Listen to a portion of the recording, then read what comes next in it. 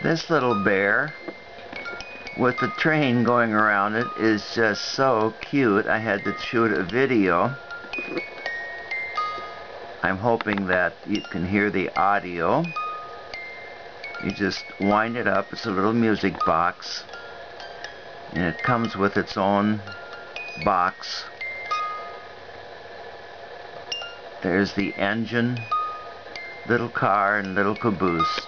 Very, very cute.